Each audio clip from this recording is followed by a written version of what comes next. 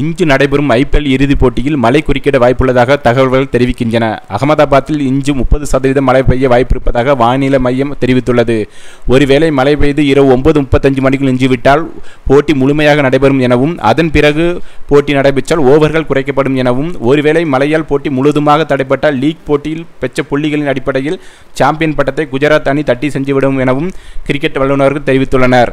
இதனால் சென்னையினுடைய வாய்ப்பு மிகவும் குறைவாக உள்ளதாக வல்லுநர்கள் தெரிவித்துள்ளனர்.